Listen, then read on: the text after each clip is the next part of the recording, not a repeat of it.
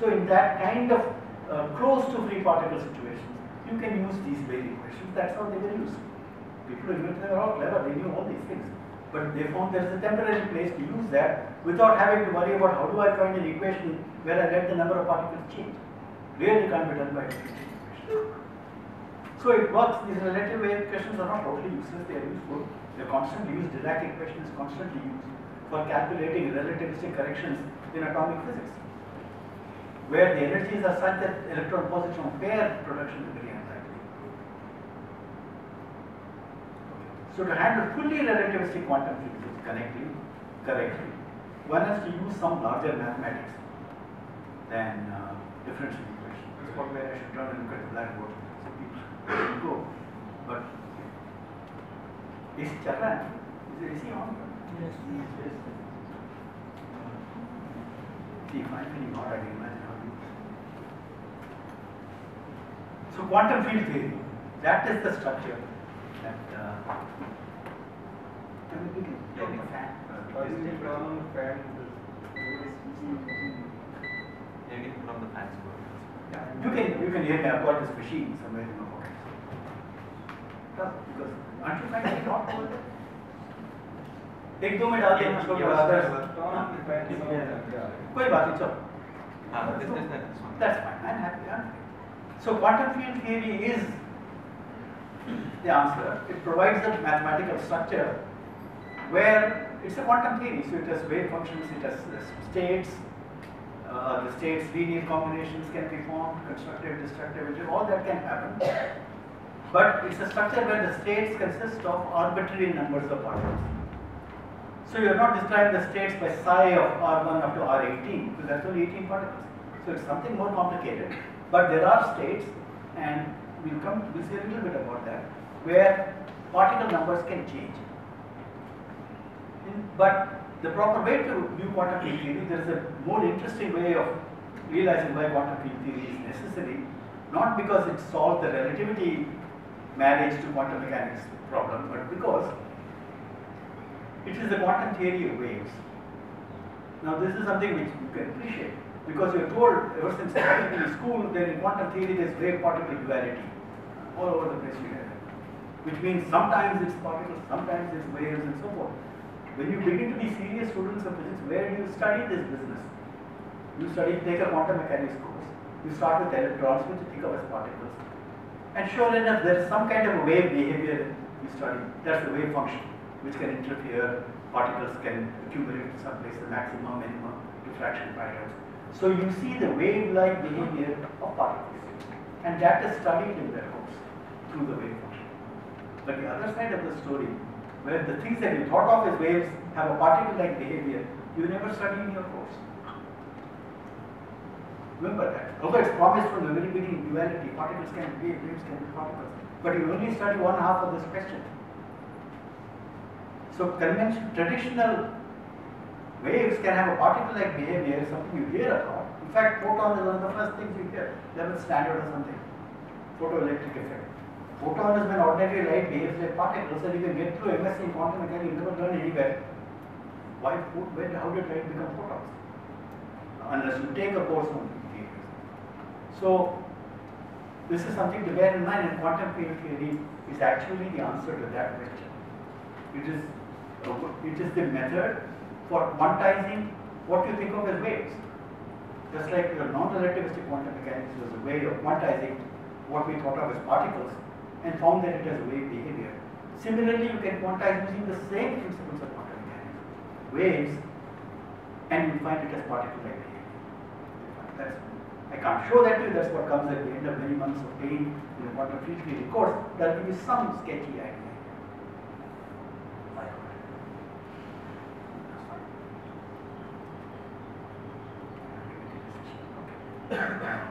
Started at 10 past 5, still isn't much nicer. So, jaldi se karenge. Um, so, in non-relativistic quantum courses, you never learn how or why light behaves like photons. Worse still, they also conveniently don't tell you, hey, there's something I haven't taught you yet. Why light behaves like photons? Please don't think that you'll be finished. They will never tell you that, even in the books. So you come up with in quantum mechanics. Half of that you have not done of what you were promised in school. Quantum field theory deals with that. Of course, you don't learn it in quantum because it's more complicated. You're not ready to be taught that. It's not that. But fact remains that that very important part question could ask, the student could ask, what happened to that part? And you can't be taught. So the theory that does that is quantum field theory, where you do same principles. For particles, you start with things which are coordinates, and you quantize it by setting momentum position to the operators, whatever, whatever, whatever, and finally you end up taking wave-like behavior. Here you have to do the same thing, you have to quantize waves. Sometimes quantum physics is called second quantization. That is a bad, stupid misnomer. You don't quantize once and you quantize again. Ek baar kar. So you never quantize twice. That's a bad language. We know why the language came. You quantize only once. It's a question of what you are quantizing. Quantizing non-relativistic particles. You're quantizing strings. You're quantizing waves. It's only you quantize only once, or you don't quantize. It's classical physics and quantum physics. There's no double quantum physics. So, we are going to quantize therefore what we think of the normal waves. What does that mean? Now, some waves are non-relativistic, like sound. Some waves are relativistic, like light. and you can quantize both, each one. Sometimes sound in some sense you get phonons, uh, you go tang, you know. and if you quantize relativistic waves, of which light electromagnetic waves are an example, you know Maxwell's equations are Lorentz invariant. Anyway, light travels at the speed of light. So, uh, you can have relativistic classical waves in classical E&Ms and our familiarity with electric fields, magnetic fields. If you quantize those, you get a relativistic field theory. So you can have non-relativistic field theories, relativistic field theories, and the relativistic field theory will be a relativistic quantum theory, will consistent and will obey the combined principles of relativity and quantum mechanics. So it does that job also. All you have to do is take a relativistic wave system and quantize it. The word field, by the way, is just another word in the generalized sense of what we call waves. Waves we think of as going in nice sinusoidal motion, but if the water jumping up and down all over, that's also a wave. And therefore, anything which is a disturbance or function of space and time can be called a wave or a field. Theory is just essentially quantum wave theory. When you find that you quantize the waves, like you could take electromagnetic system and quantize it, uh, you will find that like any quantum system, it's got energy levels. In quantum mechanics, you are not allowed every energy. The hydrogen atom can only certain energies. There are these energy levels. You will find that when you quantize wave systems, instead of having arbitrary intensity of light, you can have E field classically can be anything, B field can be anything. When you quantize it, these things cannot be in field. They can only have certain values, and the energies in particular come out in little steps, in packages. And those packages are photons. Can say a little bit more about it. We try to sketch how that happens quickly. Now, it's very useful to consider just, I'll give us, take the simplest example of a wave, quantize it, eh? and as preview, just recall for you ordinary quantum mechanics, one particle, one degree of freedom, is we say. Particles are harmonic oscillator coordinate is q. I won't use x because x I have for some other purpose. q is the coordinate, p is the momentum, t is m2 dot. Dot is time derivative. So, and these are equations, you know, the equation of motion is that of the harmonic oscillator. Root of dot omega square q square. Hamiltonian is p square by 2 and etc. You quantize it in classical physics, Q and P can have any values, or the whole story can be said. Whereas in quantum mechanics, these are not values but operators. You apply them on wave functions, you get physical answers. And the operators for Q and the operators for me, P, you commute and the commutator is I H bar. So you take Q's and P's not to be numbers but to be operators, and you rework the theory to get quantum theory. So quantum theory is basically the process of quantization is taking those classical variables and converting them as operators which operate on some space of states, wave functions. And the commutation route between the basic coordinate and its conjugate momentum is IH bar. When you do that for the harmonic oscillator, you work it all out, you get energy levels which are m plus r h bar omega. That's the best I'm able to do for h bar. so this is one dimensional harmonic oscillator, just reminding you. In fact, you will find a simple wave theory just like this. The simple way, the simplest of the kind I will show you now, is in fact a collection of harmonic oscillators. Yes. So let me just, a couple of slides here, a little bit equations. So here is, uh, uh, very quickly, let's consider now a wave or a field, I call it a field. A field is something, a wave is something which has a value at every uh, point in space. Let me call it capital phi. So think about a wave going on a string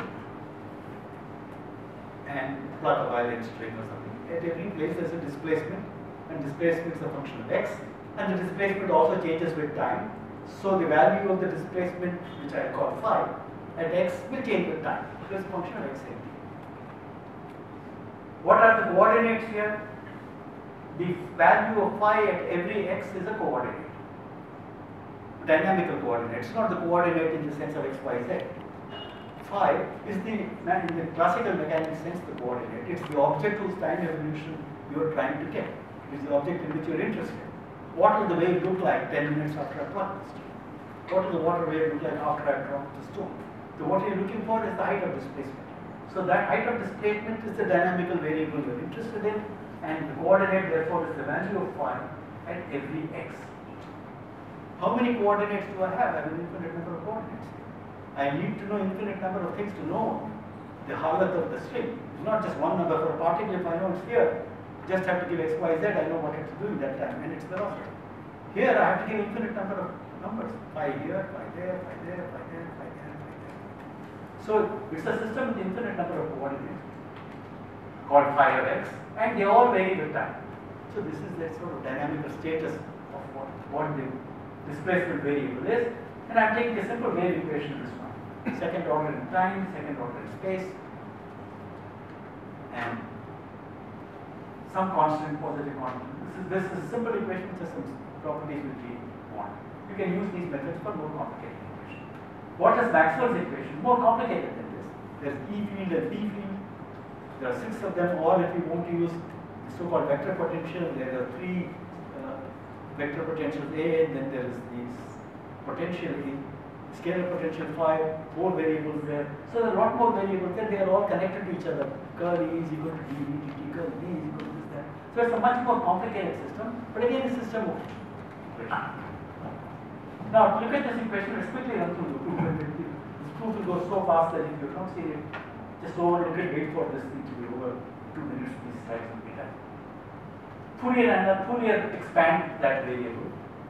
Fk's are the Fourier coefficients, and there is an inversion for the Fourier expansion, you've seen all this. Now, the Fk's for different k's carry the same information as phi x for different x's. If you know Fk for all the k's, you can construct phi of x. Conversely, if you know phi x for all of x's, using this formula you can find fk.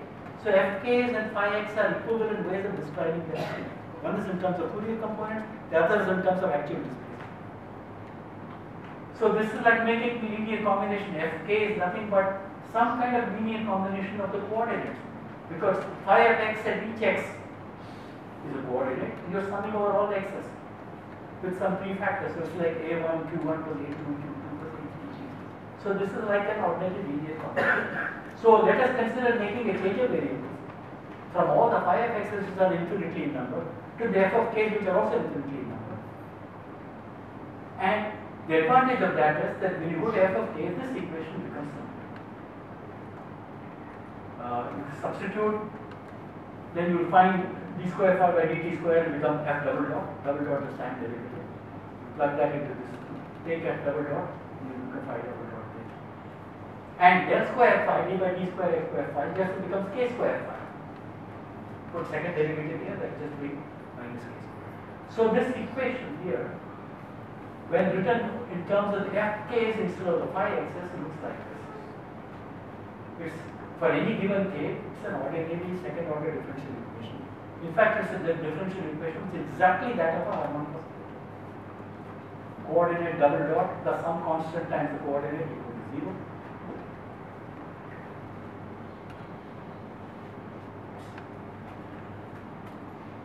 Here is the equation, and the rest is just talk. So here is the harmonic oscillator. You know that when you quantize the system, by whatever way you quantize it, it will give you energy levels. The energy levels will be n plus half h per omega. What is omega? Omega is what omega square is what comes there in the harmonic oscillator to the c square upstairs. So when you do that, omega k is just this. The square root, by the way, goes all the way. I spent hours trying to stretch it. Here, but this is omega k.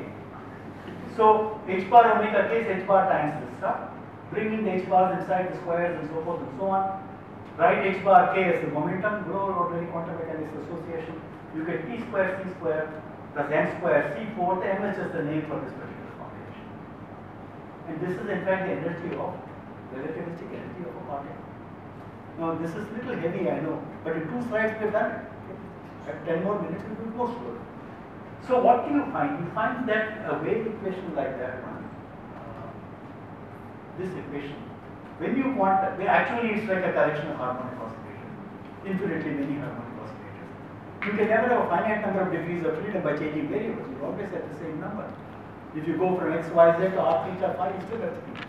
So you still have an infinite number of variables, but these are different, more convenient variables where all the fk's decouple and each has its own separate equation, which is a familiar simple harmonic oscillator. Then you know when you quantize it, this will give you h bar omega k, and that is what. Uh, but more in- in- interestingly, this h bar omega k has the formula for uh, the relativistic equation for a particle. So what is this harmonic oscillator at a given k? What are the levels? Well, n equal to 0, okay, that's the lowest level. After that, that's considered part of the vacuum. But n equal to 1 will be h bar omega more. And that is exactly like adding the energy of a particle of momentum p and mass m. Second excited level will be two of these guys. So that's the two particle state. Third level will be three particle state.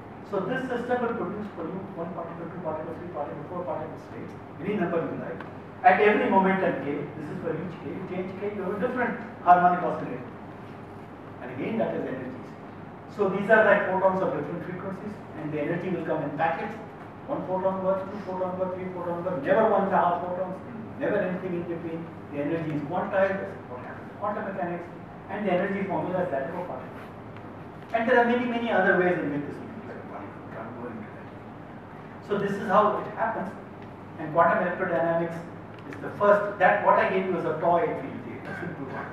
Uh, a more realistic one is of course Maxwell's equations, and that, that was part of quantum electrodynamics.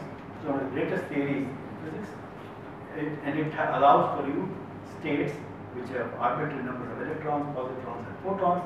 It can deal with any number of electrons, can deal with electron-positron creation, annihilation, emission of photons, photons that were not there will come out and so on. All that can be handled because the theory contains in its states with any number of electrons, any number of positrons, any number of photons.